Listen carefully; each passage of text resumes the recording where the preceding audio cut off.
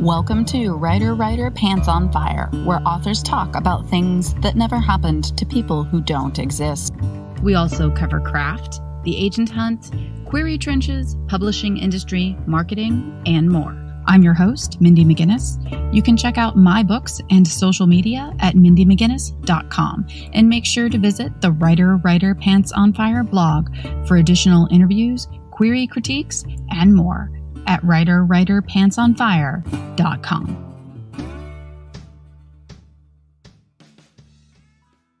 Whether you've written a novel, memoir, poetry, nonfiction, young adult, or children's book, you need a website to promote your work of art.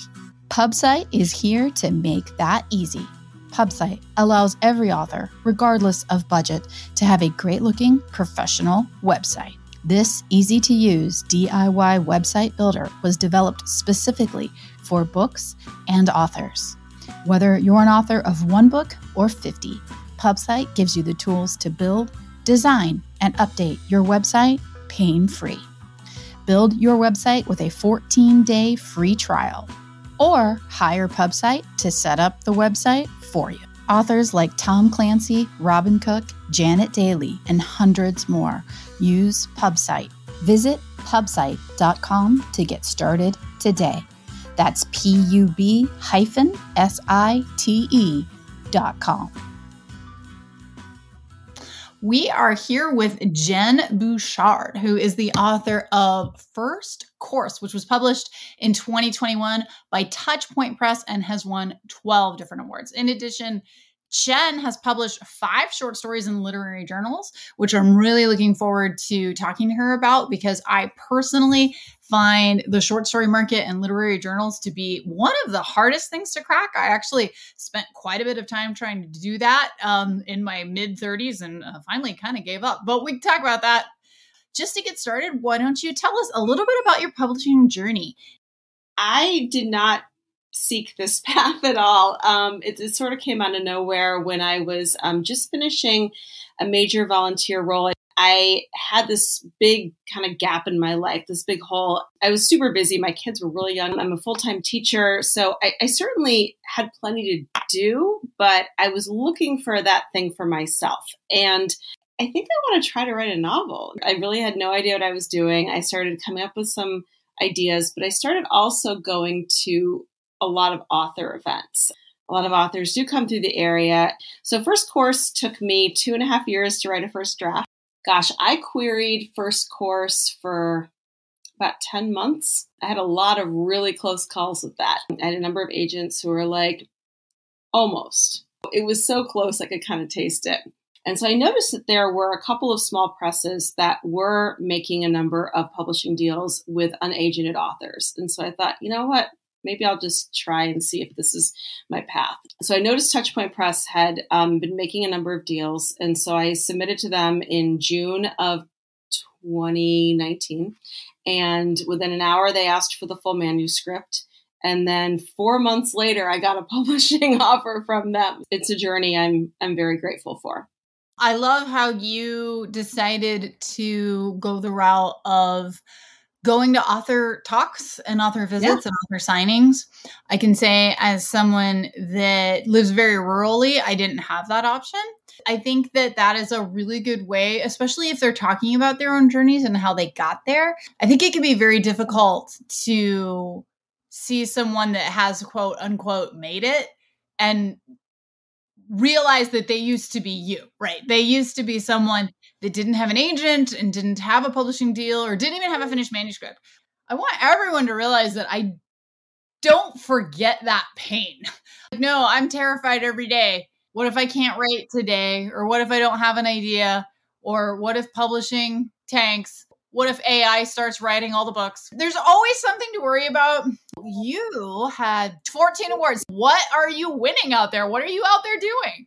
You know, there are a number of awards that are um, very much geared towards people like me, people who are with smaller presses. I'm going to share my experience. My book, A Madness So Discreet, won the Edgar Allan Poe Award in 2015. And that's a really big award and that's a really big deal. And the people that love that book absolutely love that book. But the pie chart of people that love Gothic historical fiction is small. That little wedge is very small. So people talk to me all the time about that book and they're like, oh my God, I love that book. The people that love it really love it, but it's like 15% of the reading population. So the sales aren't that great. People ask me all the time when there will be a sequel. They really want a sequel. It's set up for one. And I'm like, you know, I would love to write one, but unfortunately, I didn't sell well enough for my publisher to greenlight a sequel. And they're just like, but it won the Edgar Allan Poe Award. And I'm like, I know. And that was really cool. And it was super exciting for me. But awards don't necessarily drive sales. So, did you find that there was any sort of like uptick in sales when you won these awards? I think it was more the feather in the cap. I think it helped me get a few book events, interviews, and things like that. I got accepted to a couple of book festivals. So I would say I think it's helped with things like that. I think it also gave me the confidence to keep going. So, you know, the book was published in June of 2021. I think it, the, the awards start coming in at a time when I needed a little bit of a, a push to show me that I was uh, going, you know, down the right path. I think that helped a little bit with some of the imposter syndrome too. Those awards are really, really helpful to make you go, oh, yeah, I can do this. So tell me about being a teacher and a writer because I know so many writers that are also teachers and teachers that are also writers. It is nice. I feel very fortunate to have something else. I don't talk about it much at school, but I did start the year just as, you know, telling them about myself. I did say, you know, I'm a published author. Every once in a while, I'll have a student be like, so you wrote a book, right? I love working in the schools and I love working with the kids. I like what you're saying too about having something else that you care about because writing is so solitary and it is so isolating and it is tough some days. So, talk to me a little bit about that balance, not necessarily work and creative balance, but the balance of input versus output. If I've got a bunch of papers that I've got to get graded, the writing has to be put aside, you know, until I can get through that because I've got school deadlines. But I am getting a little bit better at looking at my time and being like, all right, I'm going to write for an hour and then I'm going to grade these papers for an hour. It used to be that the writing always got shoved to the side. And I'm really trying not to do that anymore. So I'm on a book a year plan. I know that for the next few weeks, I have to work every day. You know, I have to really schedule the time. At least for me anyway, it's the first thing to get pushed to the side. I'm the same way, and it's my actual job. Just because it's hard, I end up in a do as I say and not as I do situation a lot because I will tell people, you know, you can't wait for inspiration. You can't wait to be in the mood to write. You can't wait for it to be the right time to write. You can't wait until you feel like writing. If you want to do this and you're serious about it, then you have to say, I am writing and I'm going to sit down. I'm going to put my butt in the chair and I'm going to write. I say those things. Doing them is very different.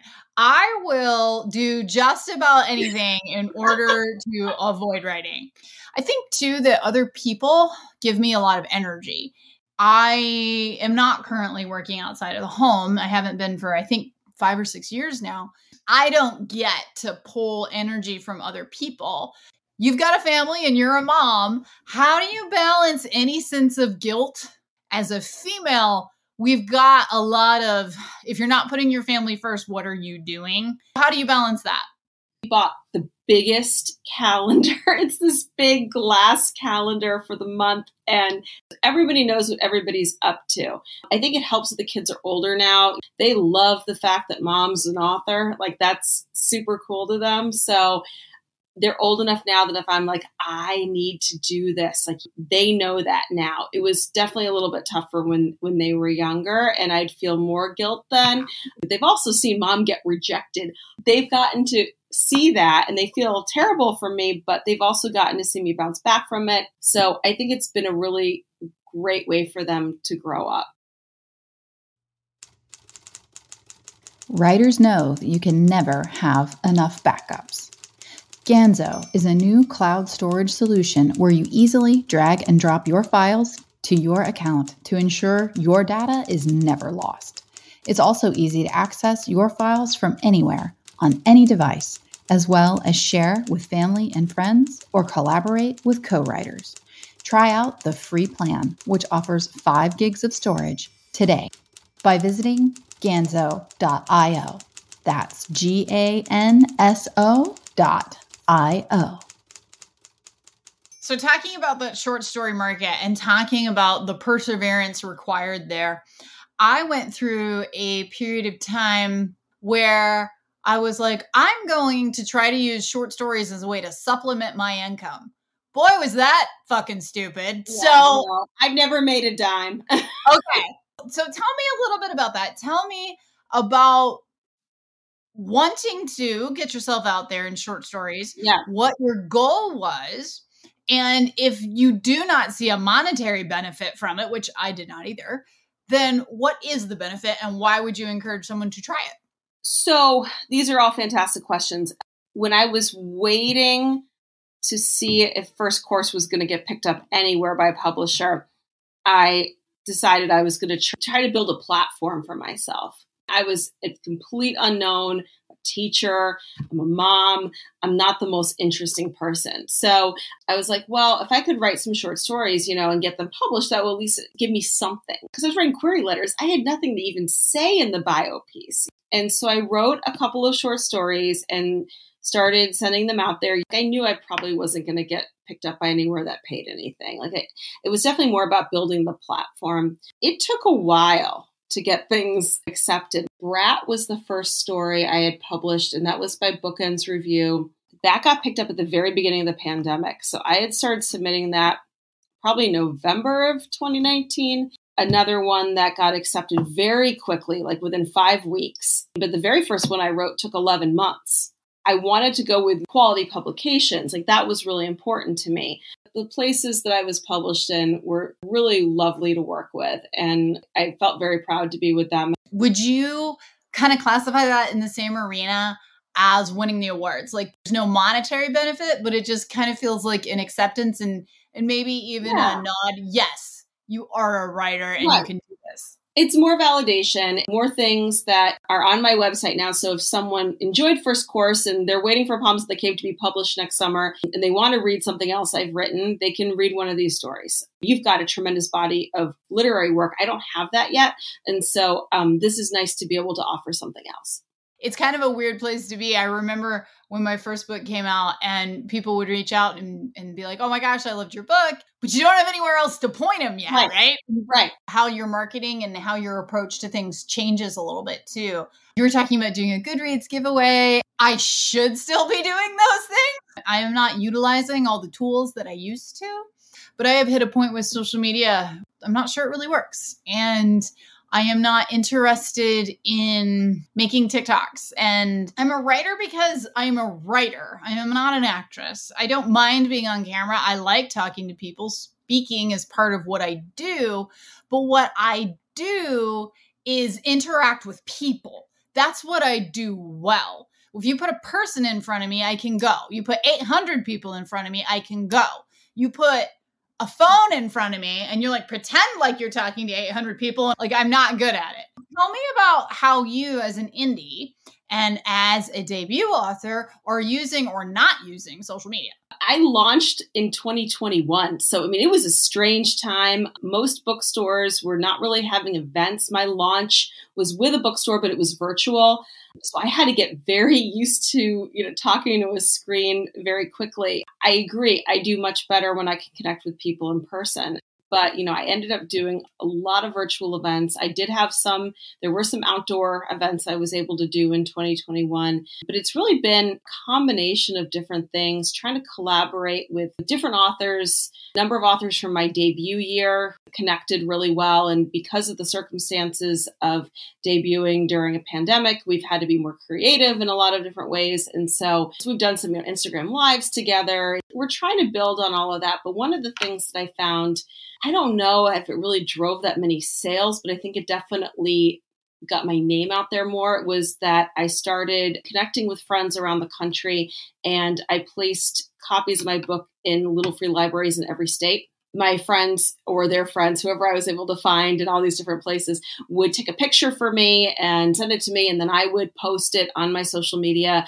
and I would, you know, include the location. I would tag a local indie bookstore. So I was trying to make connections in these different geographic places. It was a way for me to make some inroads in some in some other locations. And so I do think it helped. I think my name is out there much more than if I hadn't done that. I love the idea of using little free libraries. For anybody that doesn't know little free libraries, you've probably seen them. They look like birdhouses or little barns, and they're usually just on posts.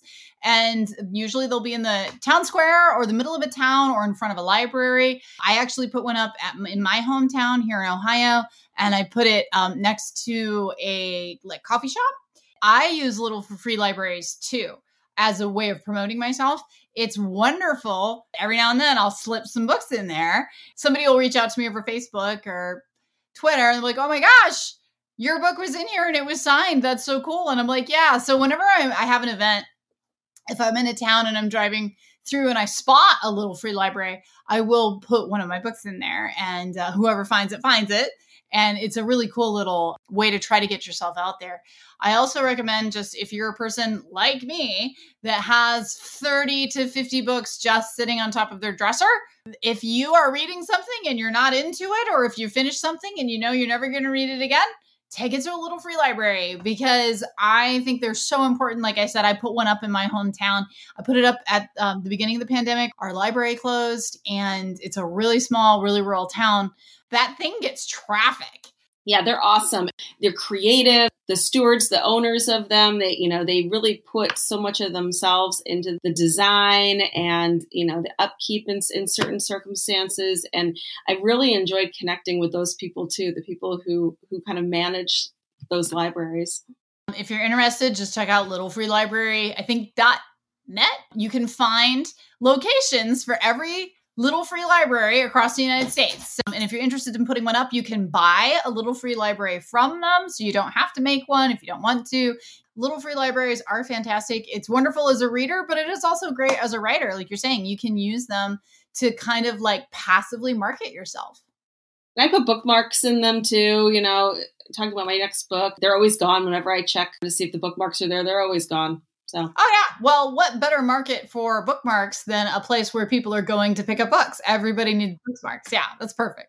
So, tell me a little bit about your second book. You've mentioned it a couple of times already, and then you had just informed me over email about some recent successes.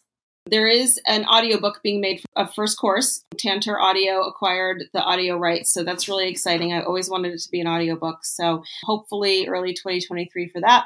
And then Palms in the Cape will be published by Touchpoint Press, the same publisher that published First Course, in summer 2023. I don't have a, an exact date yet, but I'm really excited to work with them again. I got to work with my same editor again, which was fantastic. I'm super excited about it. It is about a owner of an upscale beach bar. She's on the verge of turning 40. She might be in love with her male best friend, but she won't admit that to herself yet. But everything's going fine. And then one day, this group of people come into her beach bar and everything changes. It was an absolute blast to write. It was so much fun.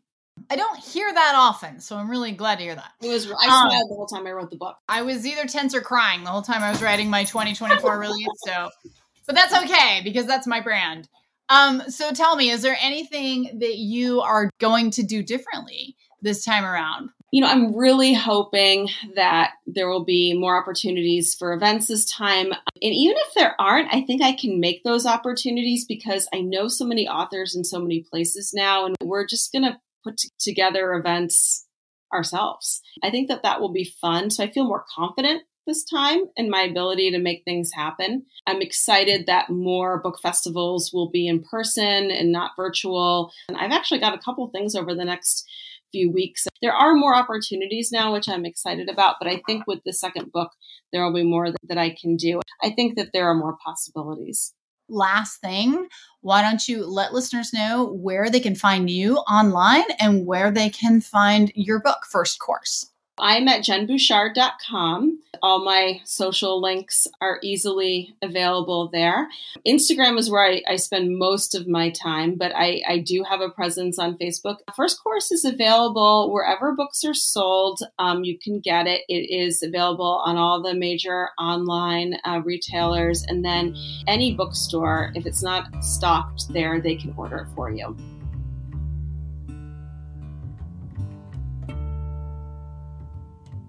Writer Writer Pants on Fire is produced by Mindy McGinnis. Music by Jack Corbel. Don't forget to check out the blog for additional interviews, writing advice, and publication tips at writerwriterpantsonfire.com. If the blog or podcast have been helpful to you, or if you just enjoy listening, please consider donating. Visit writerwriterpantsonfire.com and click support the blog and podcast in the sidebar.